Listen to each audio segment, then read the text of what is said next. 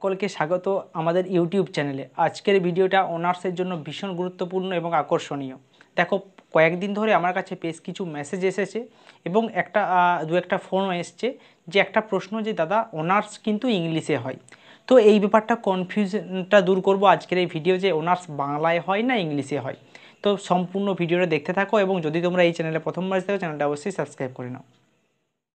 দেখো, অনার্স ভূগোলে যখন তুমি ভর্তি হবে দেখবে অনেকজনই বলবে যে অনার্স ইংলিশে করতে হয়, ইংলিশে লিখতে হয়, ইংলিশ ছাড়া কিছু হয় না।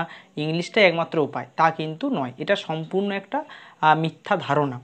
এবার কিছু কিছু কলেজ রয়েছে, কিছু কিছু ইউনিভার্সিটি রয়েছে যারা কিন্তু সম্পূর্ণ ইংলিশটাই প্রেফার করে অনার্সের জন্য। কিন্তু নাইনটি ফাইভ কলেজ কিন্তু সম্পূর্ণ বাংলাতে পরীক্ষা হয়। এবার তোমাদের প্রশ্ন যে, তাহলে প্রশ্ন কি ইংলিশে হয়? হ্যাঁ অনেক জায়গাতে প্রশ্ন সম্পূর্ণ ইংলিশেই থাকে, বাংলা থাকেই না। আবার কিছু কিছু কলেজে ইংলিশের সঙ্গে বাংলাটাও থাকে। তো এগুলো সম্পূর্ণ কলেজ এবং ইউনিভার্সিটির উপর ডিপেন্ড করছে।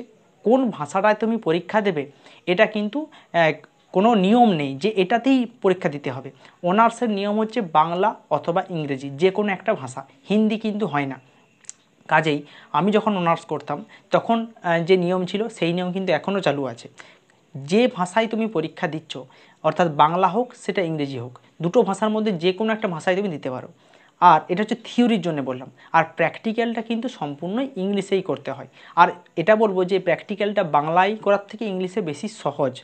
কিন্তু থিওরিটা কিন্তু ইংলিশে একটু তোমাদের কাছে শক্ত লাগতে পারে, কারণ টুয়েলভের পর হঠাৎ করে ইংলিশে শেখা। কিন্তু যদি তুমি প্র্যাকটিস করো, তোমাদের যে কলেজে ভর্তি হয়েছে, যদি ইংলিশেই পড়তে হয়, এমনটা ভেবে নিও না যে খুব কঠিন হতে পারে।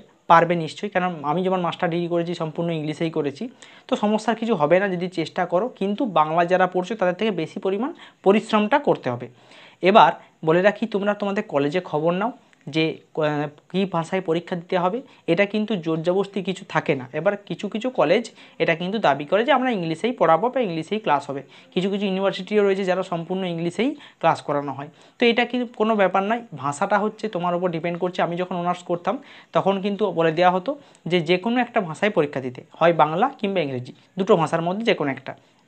এবার যারা নন বেঙ্গলি ছিলেন, ছিল তারা কিন্তু অবশ্যই ইংলিশে পরীক্ষা দিত। তারা কিন্তু ইংলিশে উইক ছিল, কারণ তারা হচ্ছে হিন্দিভাষী কাজেই তারা ইংলিশে পরীক্ষা দিতে যতটা কঠিন বোধ করতো, সেরকম আমাদের কাছেও ইংলিশটা সেরকমই কঠিন। কাজেই ইংলিশ আর বাংলার মধ্যে কোনো তফাৎ সেরকম নেই। তোমরা যে কলেজে পড়ছো সেই কলেজে খোঁজ নাও, তাহলেই তোমরা বুঝতে পারবে। একটা কনফিউশন ছিল তোমাদের মধ্যে যে যে সম্পূর্ণ কি ইংলিশে হয়, সেটা কিন্তু সম্পূর্ণ ডিপেন্ড করছে কলেজের ওপর।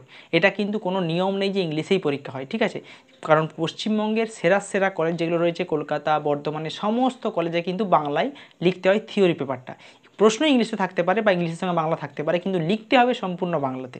তো এই ছিল আজকের ছোট ভিডিও। যদি ভালো লাগে ভিডিওটা তোমাদের বন্ধুদের মধ্যে শেয়ার করে দাও, যাদের মধ্যে এই ধরনের কনফিউশন রয়েছে। আর তোমার কলেজে কি, তুমি পড়ছো মানে কোন ভার্সনে পড়ছো, সেটাও কমেন্টে জানাও। তোমাদের ইউনিভার্সিটি বা কলেজের নাম সহ। তাহলে আমিও বুঝতে পারব যে কোন কলেজে ইংলিশে হচ্ছে, কোন কলেজে বাংলায় হচ্ছে। আশা করি ভিডিওটা তোমাদের কাছে গুরুত্বপূর্ণ হলো। যদি ভালো লাগে, অবশ্যই ভিডিওটিকে একটি লাইক করো এবং তোমাদের মতামত কমেন্টে জানাও। কোন কলেজে তুমি পড়ছো এবং সেই কলেজে বাংলা ভার্সন না ইংলিশ ভার্সন ধন্যবাদ।